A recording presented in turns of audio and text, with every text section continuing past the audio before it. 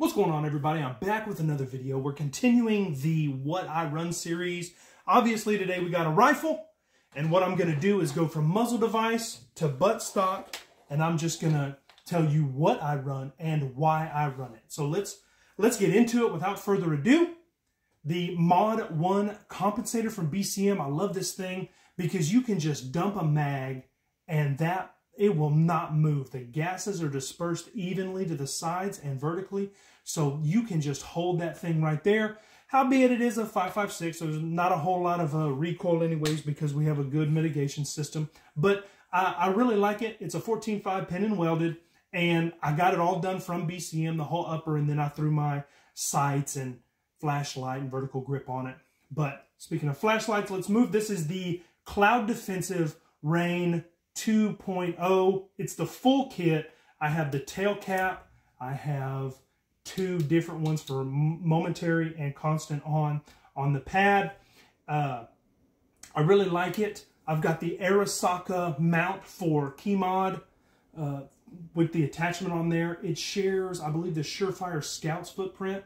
So anything for a Surefire Scout will fit this Cloud Defensive I like it. It's it's a little bit set forward. You can tell that the the uh, the base is a little bit further back, so it pushes the light out. I like that a lot because you can start getting build up on your lens, and we don't want that. So moving to the sights, I have Magpul Pro flip up sights that I've been running. I got them sighted in at 50 yards. I like them.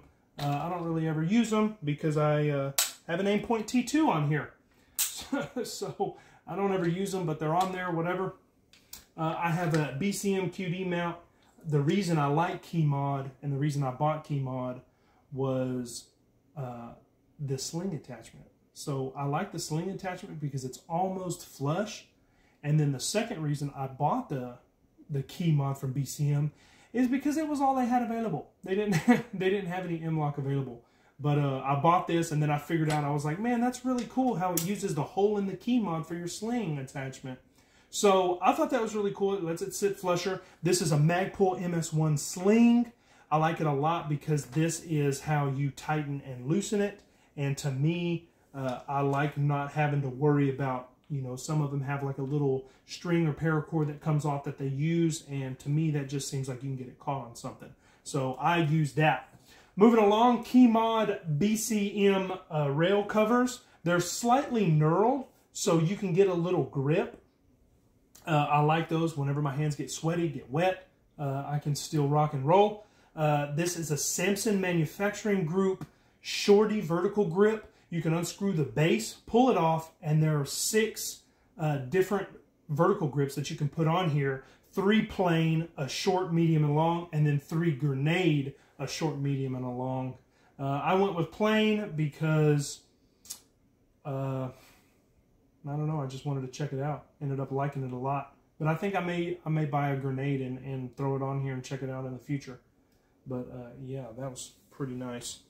Moving back uh, to the other sighting system is my Aimpoint T2 on a ScalarWorks 157.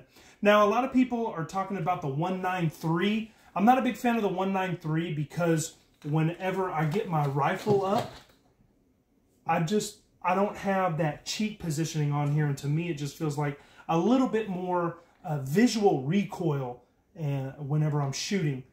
I just feel like having that cheek rest is a solid, a solid base for my rifle. And I like that a lot.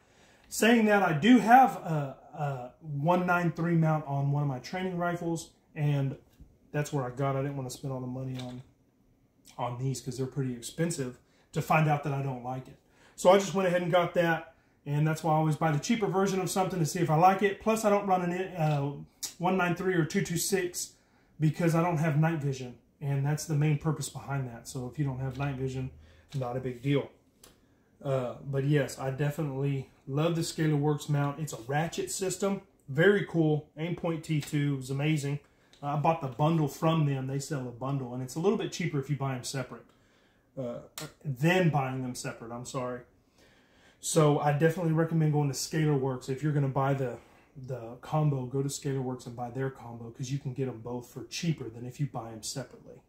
So the charging handle is an Aero Precision Breach.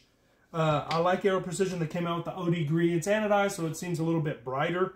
But, uh, oh well, I still like it. I had a BCM in here for a while and a Radian. Radians are awesome, but I switched to uh, Aero Precision just because I like them threw the Radian in a different gun.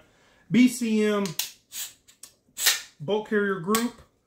Uh, primary weapon systems buffer tube, ratchet system, end plate, castle nut. Uh, it also has a QD for your sling. I really like that.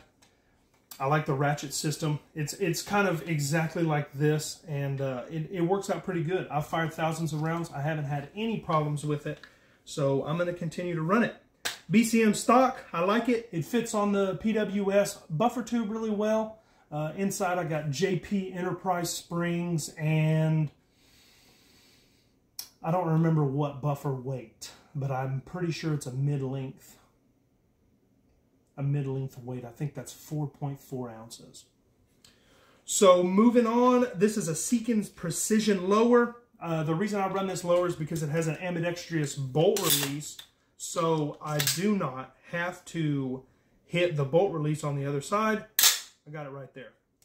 I like that. Uh, I don't really care for the Magpul bad lever or the Knights Armament deal because it, it comes through here and I don't want anything in my trigger guard, uh, especially, you know, something that'll cause me to have operator error and hit the trigger on accident or whatever. So some people like them. That's just my personal preference. I don't run them. I bought this lower so I could have an ambidextrous bolt release. Uh, this is an MKM grip. I like it. I uh, got it custom made. It's OD green. The trigger is CMC, Texas company. Uh, three and a half pound trigger. And then I have Strike Industries uh, trigger pins. The thing that I uh, have read about the cassette, and by cassette I mean one-piece triggers, is that whenever you put the, the trigger and hammer pin in with the screws on them, if you tighten them down too much, they can't rotate while they're in there, and it'll cause the trigger and hammer springs to wear out faster. Now, I have never encountered this, but I am using these trigger and hammer pins by Strike Industries with the clips on them so that, you know, I don't have to worry about it. So I do that. Uh, Seekins Precision's lower parts kit. And that brings me to the end of this video. I hope y'all like it. I hope y'all enjoyed it. I've been running this gun for a couple of years now, and I really like it. Uh, I will be coming out with a part three on my concealed carry and then my home defense gun. And uh, I appreciate y'all watching. Y'all have a great day. If y'all have any comments, drop them below, and I'll uh, I'll answer the questions as well as I can. But God bless. I'll see you at the range.